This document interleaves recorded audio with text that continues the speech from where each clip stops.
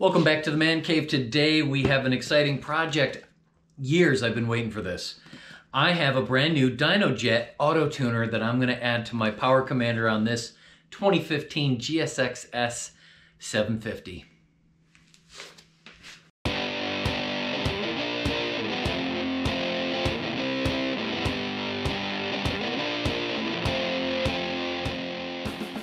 Now I have poked around inside this kit for a little bit, looked at stuff, instructions.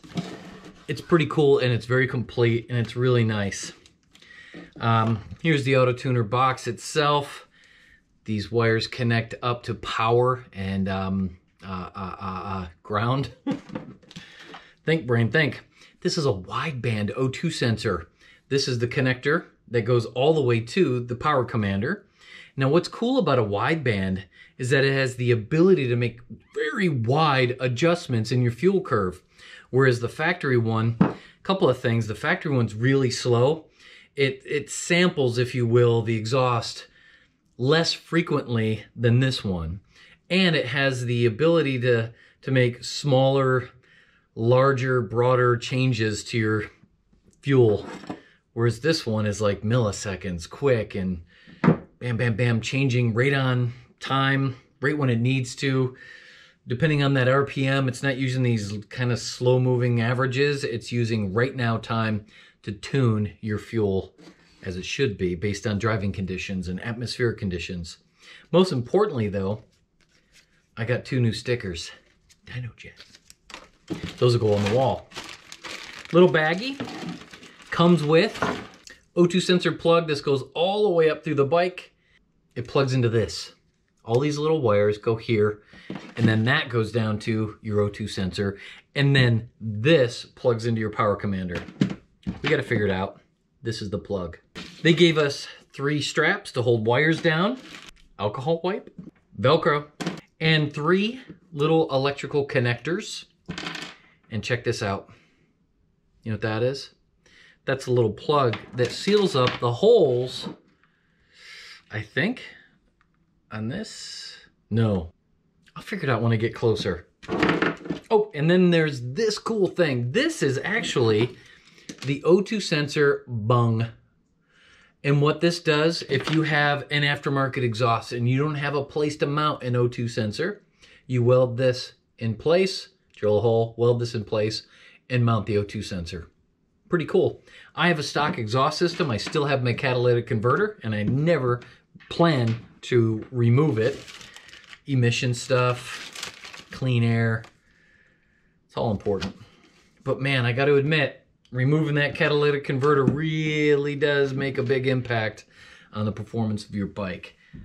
But I don't recommend it.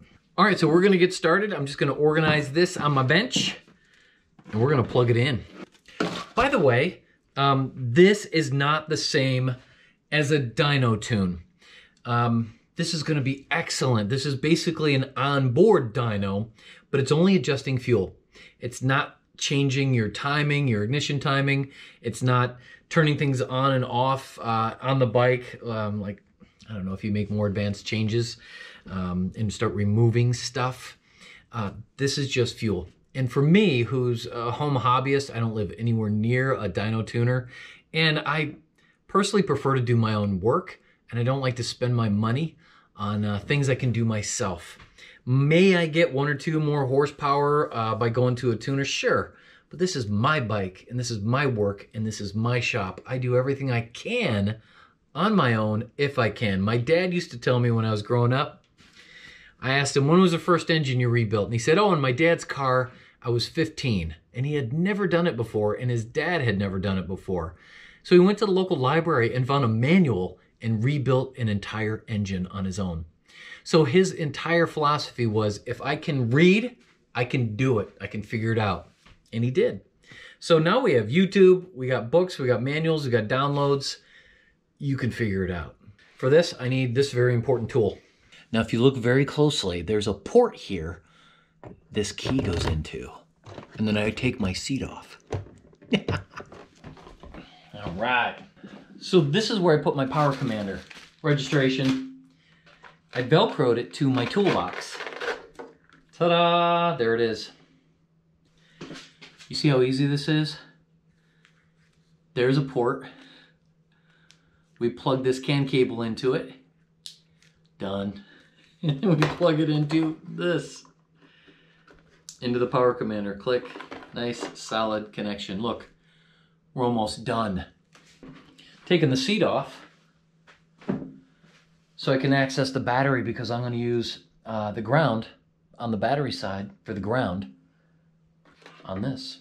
At least I think I am. So we got that opened up, but now I need to install the wideband O2 sensor. Remove the stock one. It's right here. Now they make specific O2 sockets for these. I don't think I have one that small. So maybe we'll just get a wrench on it and see if we can crank it out of there. Check this out. I do have giant O2 sensor sockets, but no, they're not. They're giant. So if you already have a power commander installed, then you have an O2 sim running. I'm being lazy. I'm trying not to lift my tank. Now it's really tight through here where this wire has to run. There's the O2 wire. 17, 19 fits over it, but the 17 does not. Look at how frustrated. Wait, does it? Oh, just barely. Maybe. Little tappy tappy, I did it. yes. Oh, and it comes off easy. Must have had anti-seize on it, right? Oh, that's perfect. Boy, I think it's finger loose already. Now the question is, can I get the wrench back off? Oh yeah. Come on! Done. Man, that came out nice and easy. I pray that the new one fits right in. Oh, and it looks bigger though. Look, the new one's a bigger diameter. Look, it's already got anti-seize compound on it. Oh, this does too. Oh no. It's not even close to the same size. Oh, we're screwed huge. So these are the same depth, same length. I thought this was going to thread right in. It doesn't. This thing's huge. Huge! I got some welding to do. I did not expect this. Unless I can drill that out and retap it. Whole exhaust has to come off. So first of all, I'm gonna take this cover off. Now my plan is just to remove the radiator bolts and get it out of the way. Hopefully I don't take any hoses off. I shouldn't need to drain radiator fluid. I should have enough play on these hoses to get it out of the way. And then I'm gonna loosen up the entire exhaust system here, down here, somewhere over here maybe, and drop the whole thing out. Once I got it out, I'm gonna put this entire exhaust pipe on my drill press and we're gonna tap out this hole from 12 millimeter to 18 millimeter. It should work, right? We're gonna find out. All right, I'm just gonna work really quick here. I'm gonna put some music on in the background. Alexa, play my soundtrack.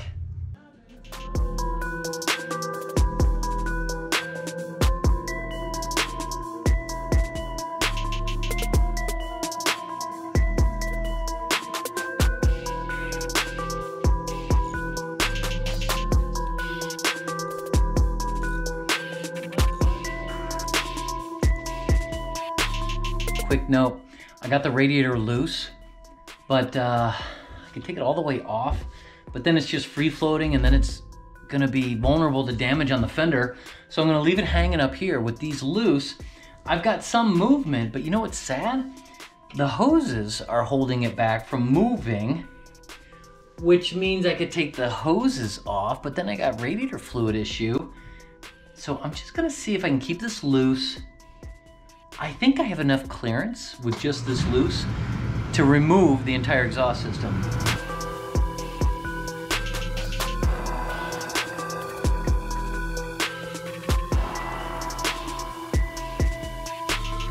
It's getting a little tight in there, so I'm switching to my standard six millimeter Allen wrench.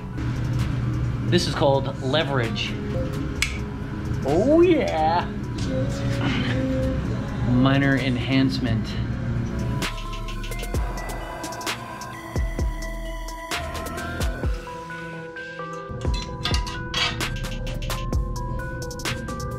go to the other side.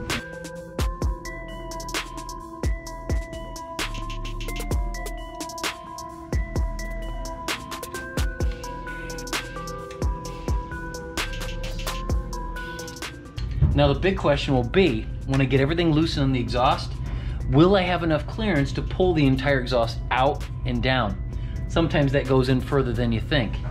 We're gonna find out.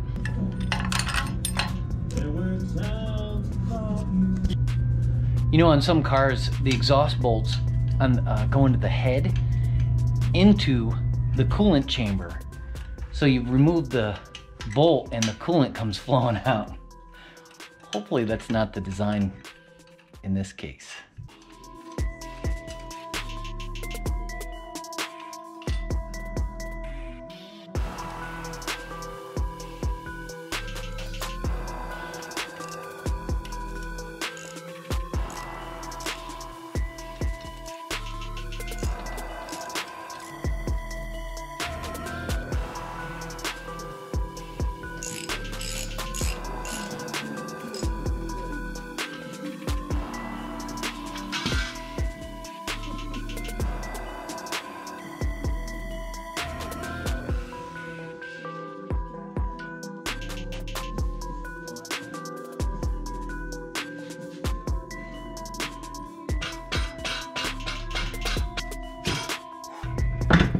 So a little tip, take the muffler piece off before you unbolt everything up here because you'll have more leverage, get that off, then this just drops off and you're done. All right, I'm gonna put a towel down to protect the exhaust from getting scratched up real bad. Hopefully it'll fit here. We will see.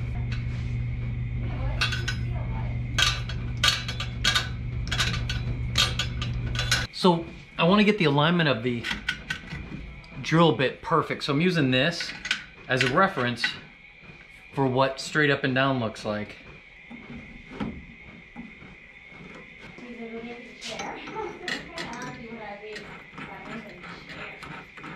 I think that's as good as I'm gonna get.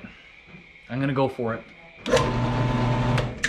First of all, this is stainless steel. I'm drilling at 350 RPM. Slow is better for stainless steel. If you go too fast with the drill bit, spin it up fast, it gets hot and it dulls and it doesn't cut. You gotta go slow, especially with stainless steel. Slow spin. That's why I bought this because it has a three quarter horsepower motor and it turns slow and has the power to move through that. This drill bit also has an edge on it so it fits really tight in the chuck. So it's a lot of torque. I hope this doesn't grab and twist. It's very intimidating.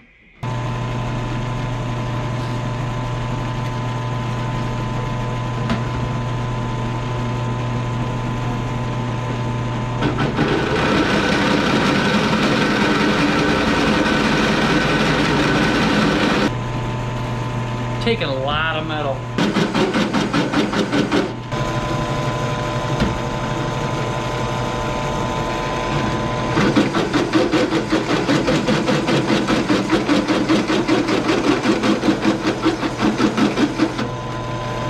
It's going quick. Ah.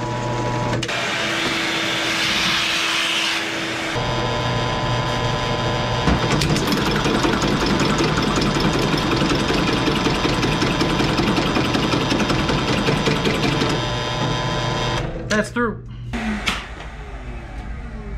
Okay, here's Big Fart. Welcome to Big Fart. Would you like me to fart? Yes. That was a wet one. Try asking me for a cheap wobbling fart. Or say random. Alexa, stop.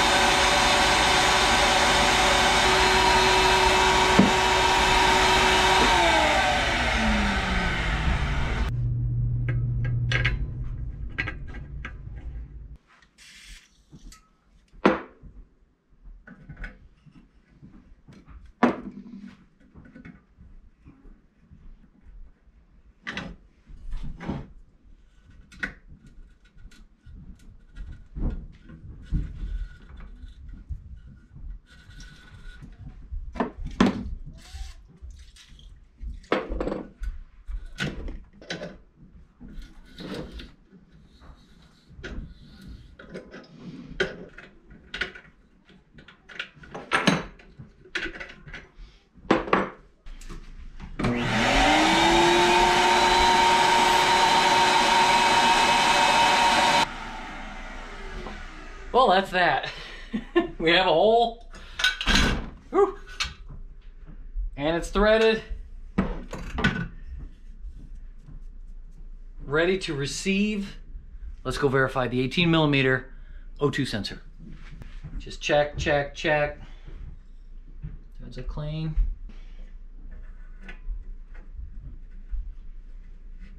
Wow. Yes! Good angle, uh, everything. It's perfect. It looks like the stock one. Thank you, Lord. What a huge relief. That was very stressful. I mean, if I mess that up, I'm going in to weld and I only have a flux core welder, it would be ugly. All right, so the rest of this is easy. The rest of this is cake. What I'm gonna do now is polish this thing up, make it look as nice as I can. It's off the bike, I have access. Get all the dirt, grime, make it shiny. Woo! So by the way, the drill and tap set that I bought, what, like 30 bucks, I think? Worked flawlessly.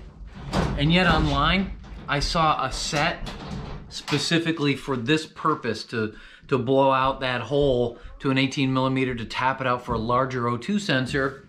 350 bucks. This one worked just fine.